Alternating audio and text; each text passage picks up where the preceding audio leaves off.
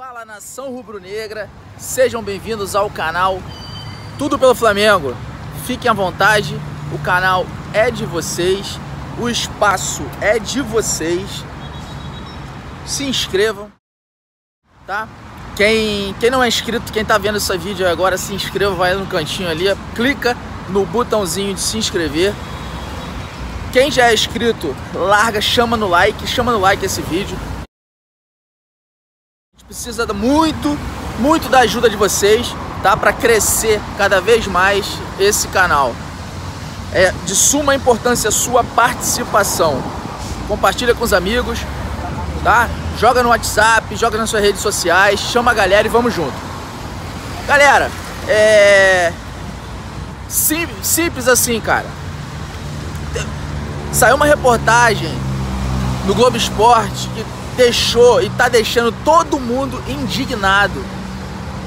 É uma vergonha, é ridículo, ridículo, ridículo a, a, a imprensa, a imprensa fazer uma coisa dessa.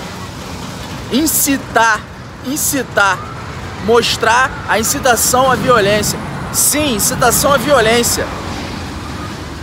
Cara, é impressionante. É, todo mundo é tudo contra o Flamengo, sempre. Sempre. A gente não tem paz. Nenhum dia, nenhum dia, a gente não tem paz. Todo santo dia é alguma coisa. Eu sei que isso, né, é os caras tentando desestabilizar, querendo aproveitar que o Flamengo vem de dois jogos não tão bem. Só que assim, a gente precisa ter a sabedoria, a gente precisa ter né, a inteligência nessa reta final de brasileiro, continuar fazendo nosso trabalho, não cair na deles, certo? Porque o que eles querem fazer, a imprensa paulista principalmente, eu tava vendo no Twitter, tem torcedor do Corinthians se juntando com o torcedor do Palmeiras. Isso é impressionante, só o Flamengo consegue fazer isso. Só o Flamengo consegue fazer, juntar dois rivais Cara, vamos continuar na nossa, na nossa batida, vamos continuar no nosso caminho.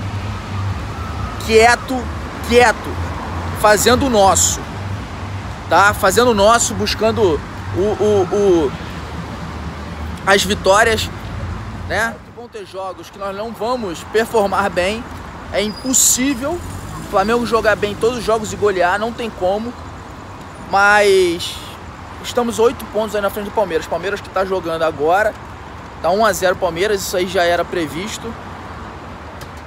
Palmeiras não, não perder ponto hoje pro Ceará. Né? O Ceará que poupou, deixou galhado na, na no banco, vários. Enfim. Não deu para entender. O Matheus Gonçalves, um, um, um atacante, um ala do Ceará com problema de conjuntivite, o cara não jogar, beleza, não tô questionando muito, de repente ele sabe melhor do que eu a saúde, mas eu acho estranho que contra o Flamengo, o nego vai sem uma perna, mas quer jogar. Entendeu? Sem uma perna, mas quer jogar. Os cara quer dar a vida contra o Flamengo. E aí contra Palmeiras ou outro time, uma conjuntivite tira o cara. Mas enfim, cada um sabe do seu cada um. Né? Tá 1x0 gol do Zé Rafael, 1x0 Palmeiras. Palmeiras não vai perder ponto essa rodada. Flamengo tem que ganhar amanhã. Precisa ganhar amanhã. É guerra. É espírito de Libertadores. Não vamos fraquejar. Não vamos.